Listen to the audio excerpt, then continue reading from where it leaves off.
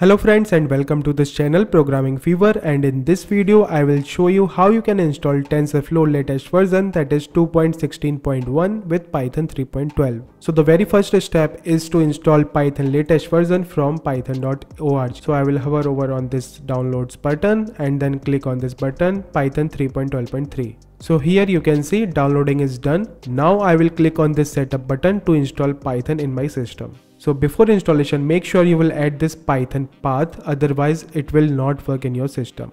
Now I will click on install now button. Now wait for a few minutes to install this setup in your system. Okay, so as you can see, this Python latest version is successfully installed in our system. Now before installing TensorFlow in our system, I will show you whether we can import TensorFlow in our system or not. So I will open IDLE. So here you can see IDLE latest version 3.12. So I will click on this button and here I will try to import TensorFlow. So as you can see, it says no module name TensorFlow.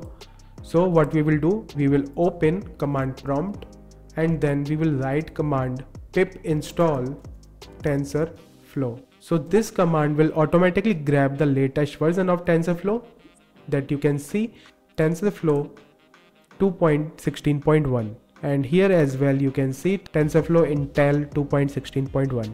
So this command will automatically install the latest version in our system. Now wait for a few minutes to install this in our system.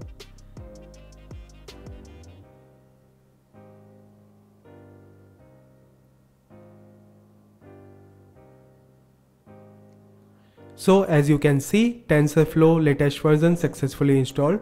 Now we will again try to import TensorFlow in IDLE. So I will open IDLE again and now this time we will check whether it is installed properly or not. So we will write command import TensorFlow. So now this time you can check it is successfully imported and there is no error.